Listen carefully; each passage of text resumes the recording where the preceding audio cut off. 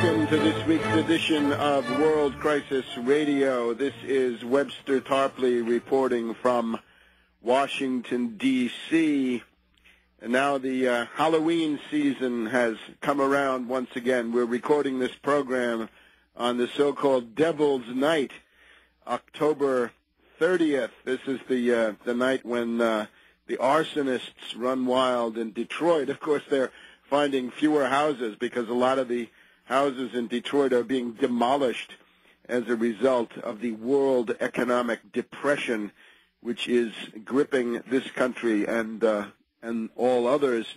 We're also now one year into the Obama era, uh, at least since uh, Obama's election, since he was able to carry out the first stage of his people power coup or postmodern color revolution inside the U.S.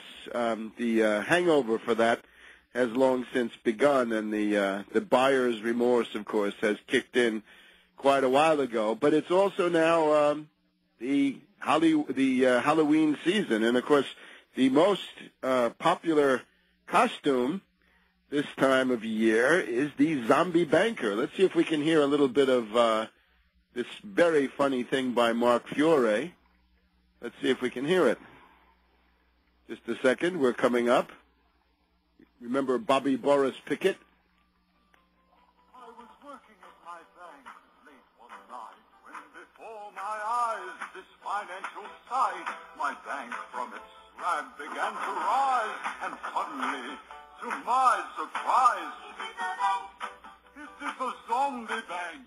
Well, you get the idea. The zombie banks. Uh, who, that's who runs Obama. That's who dictates policy. And we'll talk about new revelations about how U.S. taxpayer money was convoyed to Goldman Sachs under the orders of Tiny Tim Geithner, at that time the head of the New York Fed, and this time around the Secretary of the Treasury in the Obama regime. And we know he's got three names on his speed dialing list.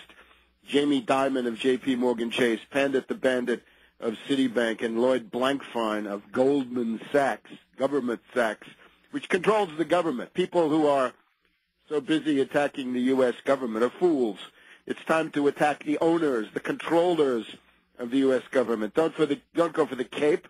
Go for the matador. Don't go for the uh, dumb show that they put on for you, which is in Washington. March straight to Wall Street and protest Goldman Sachs. And of course, it's not just cultural populism, but it's time to make them pay with things like the Tobin tax, the reimposition of Glass-Steagall, which would break up that monstrosity there, Goldman Sachs.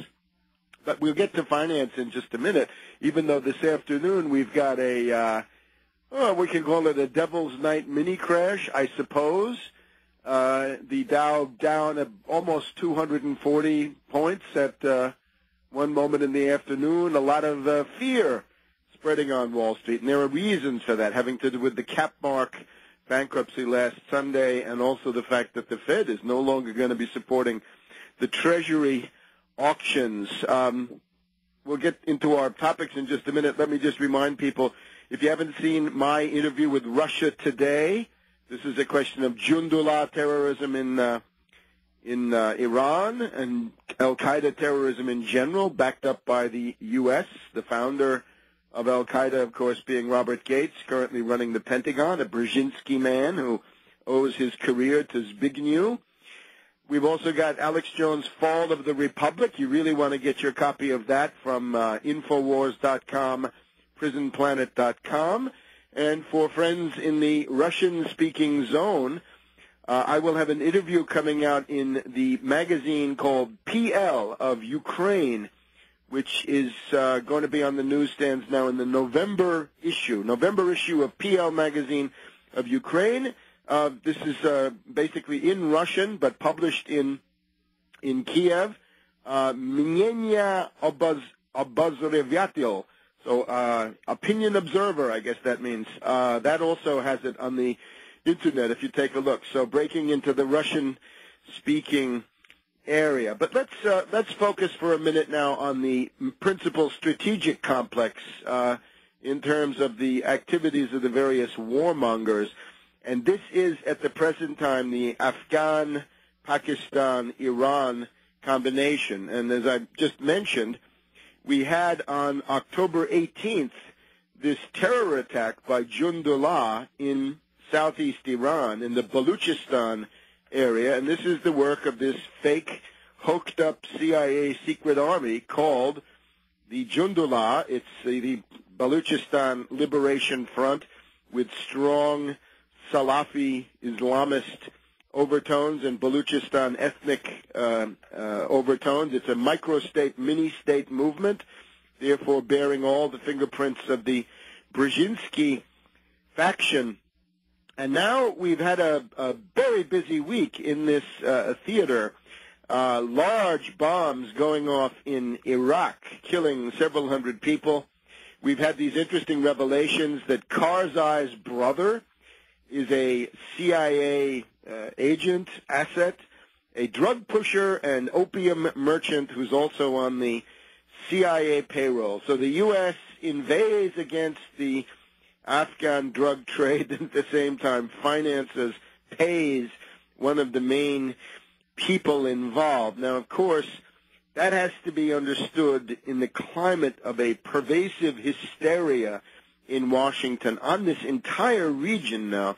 Uh, for the last several weeks, we've been seeing hysteria against President Karzai of Afghanistan. He's a U.S. puppet.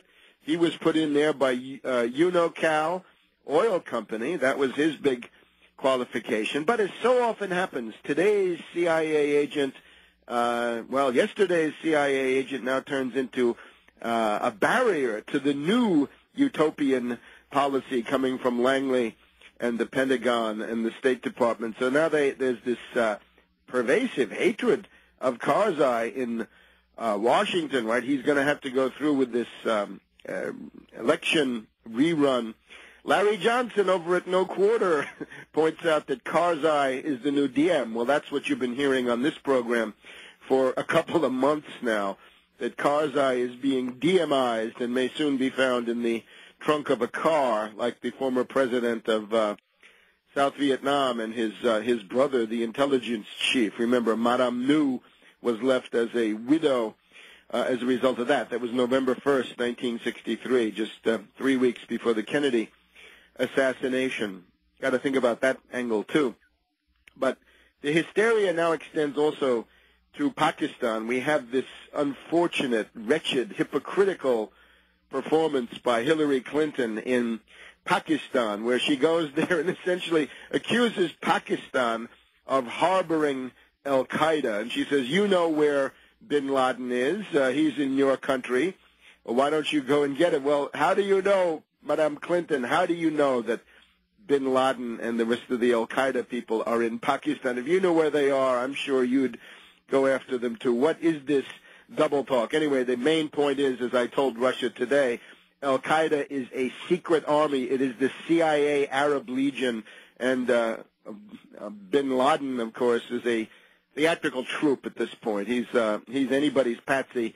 He's a dreamer, an eccentric, uh, a misfit who was made into the uh, the uh, the the uh, public face of this movement.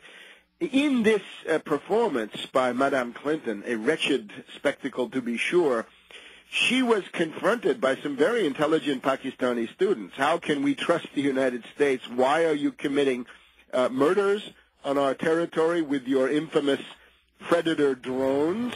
Right? Who are you talking to? Uh, and of course, they ask, how can we trust the U.S.? Well, good question, Pakistanis. Answer is, you cannot. Back in a minute on World Crisis Radio.